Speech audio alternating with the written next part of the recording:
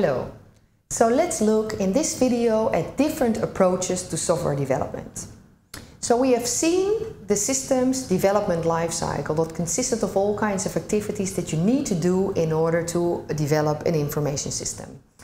So there's different approaches that take different activities of this system development lifecycle and organize them in different ways.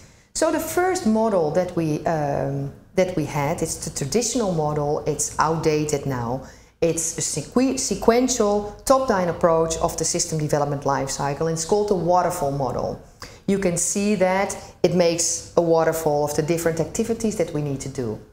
So it starts with requirements phase, we do the design, we do the implementation of the system, we do verification and testing, and then maintenance and deployment.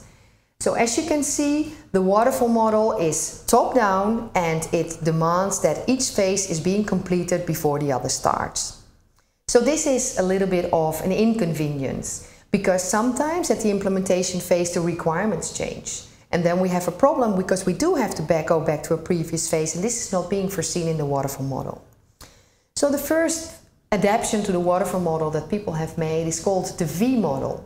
It is like the waterfall model, but it includes testing at all levels.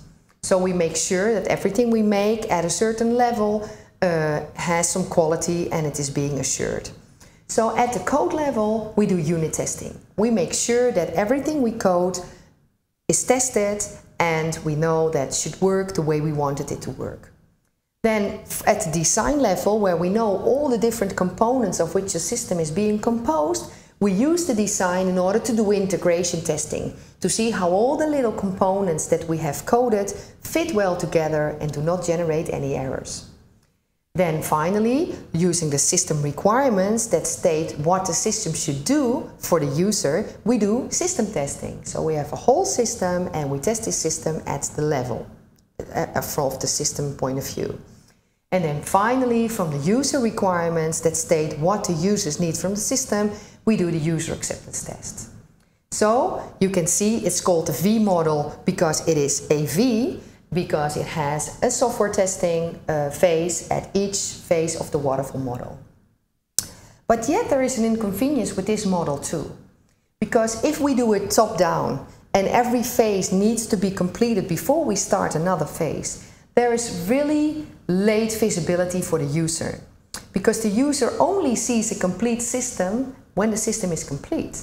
And this might not be enough because then the user might say, oh, but this is not what I wanted. I wanted something completely different.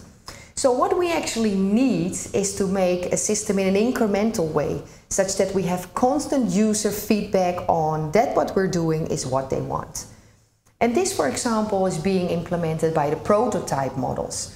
Prototype is a small working model of a system that we need to build. And so we can build small prototypes of what we think the user needs. We can give it to the user, they can give us their feedback, and we can go on. So we have a constant evaluation and an incremental development of the system. So we add incrementally functionality until the whole system is complete and contains all the functionality that the user desires. Examples of prototyping is, for example, agile software development. Agile software development is a prototyping model in that it makes it's incremental and it evaluates constantly. And the focus in agile software development is on short time box uh, um, frames of development that are typically like four weeks. They're called sprints. So you make a sprint of four weeks to add functionality to the system and then we let the users evaluate.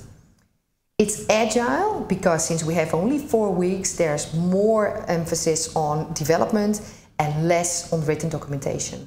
In order to make up for this less written documentation, there should be more face-to-face -face communication between the de developers. So, small releases, small sprints of typically four weeks, more communication, less documentation. That's the agile software development prototyping. Another model for prototyping is called rapid application development. Rapid application development goes together with the joint application development where we have continuous interaction with the users because that's important. It's the users that decide whether the system you give them is what they need or not. So rapid application development or RAD is also prototyping, but it focuses on constant user feedback, reuse of pre-built components, so if it already exists, don't do it again, just reuse it and use case tools, these computer-aided software engineering tools that we've seen in the previous video.